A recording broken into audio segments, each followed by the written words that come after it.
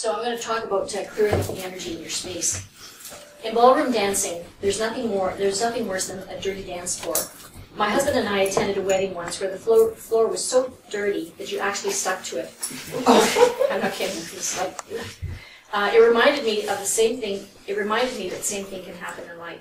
We can get stuck in our lives, and then it can make it difficult to move, let alone dance to the music of life. Ballroom dancing, for example, is about style, form, and movement. Dancers need to hear the beat, know the correct style of dance, hold the right form, and move in harmony with everyone else on the floor. Get it wrong, and you end up missing the beat and going against the flow. It never dawned on me that my home could be a major contributor to stress and anxiety. It was a lesson my husband and I learned in a very unusual way. It saved our marriage and our careers, and it brought a level of happiness and success that we, never, that we never thought was possible. It also gave us a deeper respect and understanding of our spiritual connection to the divine and all of this came about from a simple dinner invitation that I almost refused to accept. My husband was attending a conference in Florida one year when he ran into Ted, an old friend of his from college. They had worked in different industries, so they had lost touch over the years. Bert told Ted things hadn't gone so well for us over the years as a result of all the corporate restructuring and downsizing we had been through with our, our careers. My husband and I both worked in the lab industry, so I was a lab tech and he was a lab technician. And uh, in the 80s, the uh, powers that be decided that uh, private labs private labs need to be shut down. And uh, by 1988, uh, 50% of all lab techs were out of work. Wow. So we were restructuring and downsizing. So one of us had to get out. Ted listened intently and then suggested we get together for dinner. There's someone I think you need to meet, was all he said. Bert called from the conference and told me what had happened and that he invited Ted over for dinner the following week. He said he's bringing along a friend of his as well. She's from England, and I hope that's all right with you. At the time, things were not going well for us personally. We were both very unhappy, and sooner or later something was going to give. It was either going to be our marriage or bankruptcy or both. Entertaining at the time didn't have me all giddy with anticipation, to put it mildly, and I'm not much of a cook.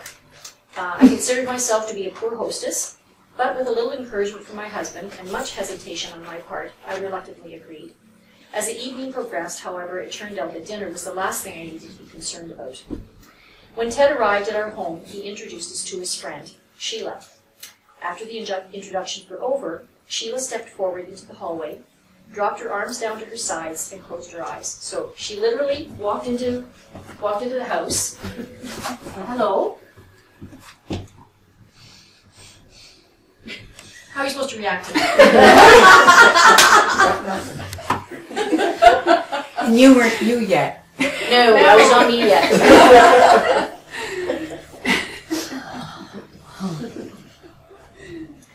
Her behavior was totally unexpected and it caught us off guard. Uh, we stood there in stunned silence and looked at her, not sure if we were supposed to do anything or just wait. Ted smiled at us with this look of benevolent understanding and acceptance. Within a few seconds, her arms began to move in and out from her sides in a very subtle manner. Who is this woman? I thought to myself. Ted continued to wait in respectful silence. Fascinated by her unusual behavior, we joined him in quiet respect, waiting for her to open her eyes again. Intuitively, I could tell that she was checking out the energy in our home. In our home. I didn't understand why it was necessary, but whatever she was doing, it felt important. So I said nothing. After about a minute, she opened her eyes and she smiled at us. And I, all I could think was, oh, that was different. Sheila then asked if we would be so kind as to take her on a tour of our home. We found her request peculiar and a little intrusive, but quite frankly, by this point, we were so intrigued with what she was up to that we pretty much would have to anything. We dutifully took them on a tour of the entire house, and all I could think was, thank God I made the kids' beds. we all walked through the entire house, with Sheila examining every single room, including the utility room, the linen closets. She, the woman was opening doors, you know? I mean, I just felt the house was for sale. Um, we were all very quiet during the tour, respecting Sheila's continued silence. And after the inspection was over, we all sat down to dinner. Ted was always fun to be with. He was never short of hilarious stories to share from his many adventures traveling around the world. Sheila, on the other hand, said very little the entire evening. After dinner was over and we were lingering over coffee and dessert, Sheila finally spoke up and asked if we would like to know why she wanted to tour of the house. Dying. she said, Your home is not healthy, and as a gift to you, and in respect for having me over for dinner, I'd like to offer suggestions on how to make your home a healthier one. Would you like to know what I have found? No kidding. Raining cold. Personally, I was dying of curiosity. I looked over to my husband, who had the skeptical look on his face. I'm married to a Dutch farm boy. Skepticism is big on his roster. Um, We naturally both agreed to her ana- analysis, and for the next 20 minutes, she proceeded to describe things about us, uh, uh, things to us about our lives that were very personal. I mean, very personal.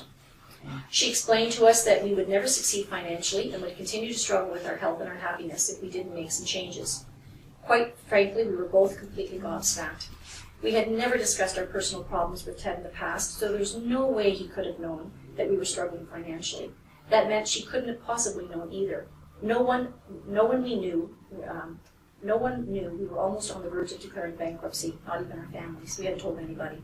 I didn't know whether to laugh or cry. My husband sat in stunned silence.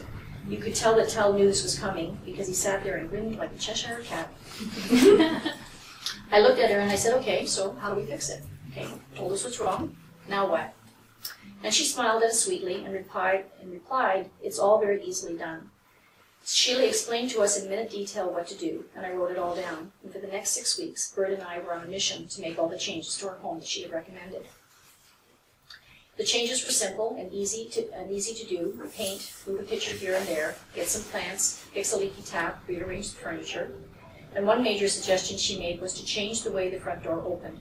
She suggested that we hang it so that we could open the door in the other direction. Oddly enough, we were already in the process of looking for a new door anyways, so it was perfect timing for us. Within months of completing all the changes she recommended, our lives changed radically.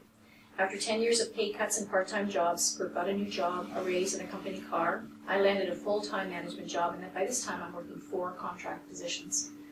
Uh, we learned about positive affirmations and how to use them, and as a result, for the first time in years, we had money in the bank, a new car, and jobs with benefits. Yeah. And that was just from rearranging a few things in our home. Amazing, eh?